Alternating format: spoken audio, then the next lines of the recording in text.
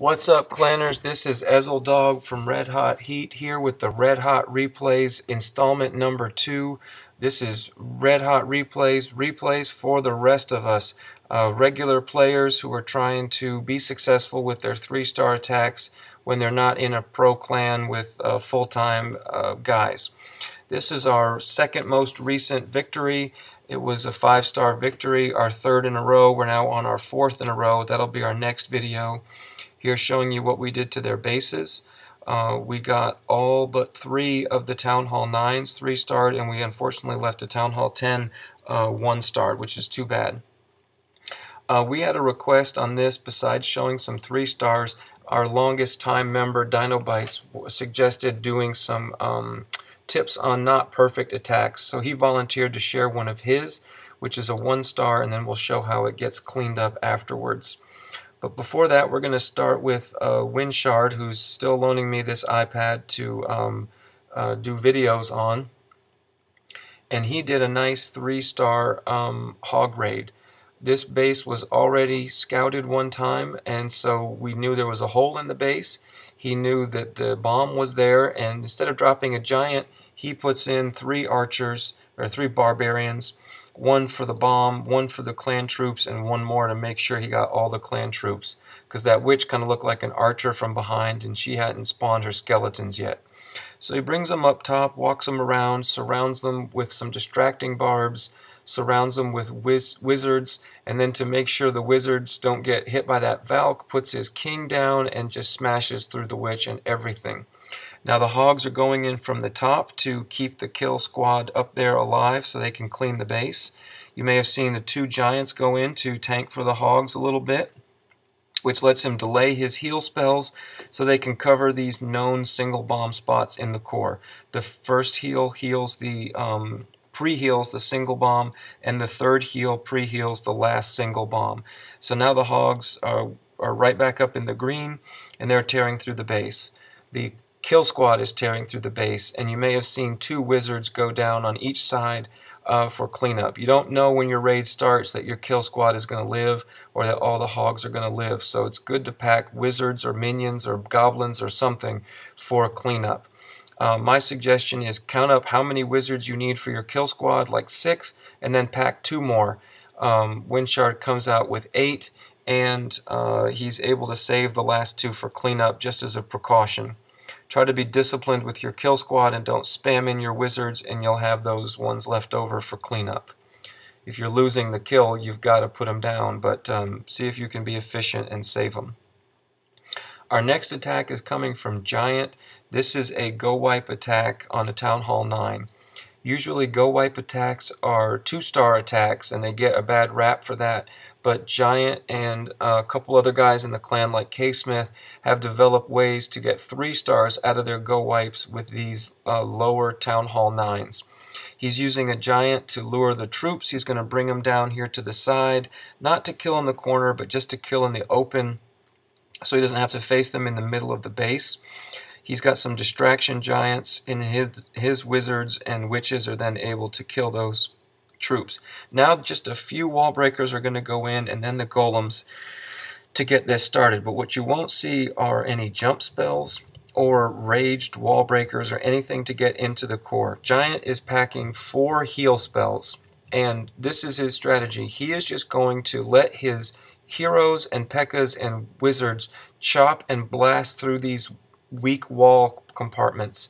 And while they're standing in heals, the golems are in heals, the, the pekkas are in heals, and they're taking so little damage from these underdeveloped defenses uh, that they, when healed, can just take their time and get through the wall, and they just tear through the entire base. Usually a GoWipe attack bogs down right here when you get to the core, and all this stuff on the outside is blasting your troops.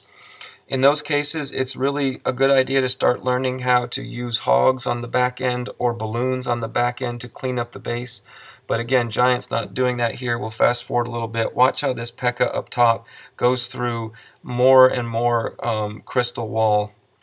On the blue up there, goes in, gets a wizard tower, chops through more wall, chops through more wall, chops through more wall, and then he gets one more heal spell and again, while he's under heal and weak defenses, um, he can just go through the wall at his own pace. Watch here at the end how he goes through two layers of pink. Five chops. One, two, three, and some skeletons, and he's back out. Giant actually did this in the next war, I don't know if we'll show it or not, uh, to another base that had all skull wall, and he didn't even have his Barb King. He's just healing and chopping right through them. That's not going to work on every Town Hall 9. Some of them require a different attack style, and that's what Dino tried to bring here on base number 5, where he got the 1 star. And then Hawk Dusk brought the same lava attack uh, for the cleanup. Dino's lava attack is, is a 1 star for two main reasons. The lightning spell misses the CC troops, and the queen doesn't activate her ability before she dies. But let's talk about what he does right.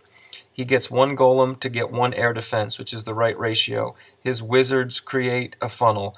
The wall breakers are offset from the golem. They don't get splashed by a, a wizard tower. And now the king is in on the queen.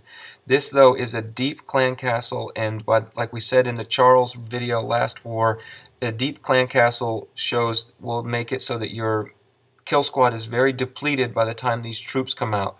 Dino has nothing left but a bit of a golem and his queen. So he's counting on this lightning spell to take out that clump and it just misses completely, leaving all those wizards and archers standing. They go up and kill the golemite. Now, the Archer Queen could probably take out all or most of that, but what happens is Dino is starting his air raid because he's nervous about time. We've had a lot of 96 and 98% um, one or two stars, due to time, so he's trying to get started. But when he takes his eye off the queen, she's dead in one round of wizard splashes. That troop tray down at the bottom that has that nice life bar for the heroes these days doesn't help you when the queen goes down instantly. So now these balloons are getting swarmed by wizards, and their only chance to kill them is with crashing or splashing on them or with these raged pups. And a couple of them do go down. You see the skeletons there. But the pups are distracted by trash buildings, and the balloons aren't really on defenses, uh, so the wizards are going to tear through the rest of this army. Dino doesn't give up. He um, deploys the balloons and lava hounds correctly, good pathing, good deployment, and he's going to destroy every defense in this base. It's just the wizards running around that are holding him back from being able to clean up all the trash in the town hall to get the two or three star. Um, so it came down to, again, the lightning spell and the Archer Queen power might have saved him uh, from this outcome. Let's go see how Hawkdusk uh, cleans this up. He's going to use, again, a lava attack. And that's going to be from the same side with one golem. Um, and the, the main difference is that the lightning spell hits the clump of troops. But there's a couple other interesting things we can talk about. Hawk Hawkdusk does not have his Archer Queen. So how do you deal with not having a hero for war? You either sit out, you gem the hero, or you try to compensate in some kind of way. If he was without his Barb King, I think that would have been tougher, because what's the Barb King's job? The Barb King goes in like a missile and kills the Archer Queen. I've seen some videos where you can use a P.E.K.K.A for that, but that's a lot of troop space. What is the Archer Queen's job? Uh, damage. She's supposed to destroy these trash buildings, this air defense, and deal with the clan castle troops. So Hawkdusk adds damage to his kill squad by just raging the whole kill squad with a rage spell. Then the king gets his own rage, so he gets two rages. The wizards and witches are doing more damage faster, and when these clan troops come out, they're more prepared to meet them. But the real key is that the lightning spell hits and most of these wizards get double tapped, which will kill them. Uh, one wizard emerges, but he's going to be helpful and stand next to a mortar uh, and get splashed by balloons. Um, now, for the rest of the raid, he's down a um, rage spell. So the first set of air defense uh, and and defenses gets a rage, but down here, when the third hound comes in, you would expect a rage right there to push those balloons in. There's the minions for cleanup.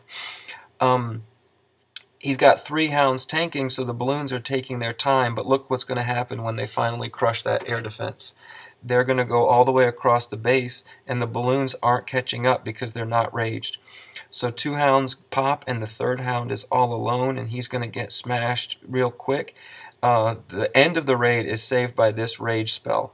It covers the archer tower, the air sweeper, the air defense, the crossbow, the Tesla, the other Tesla, and the wizard tower all raged by those balloons.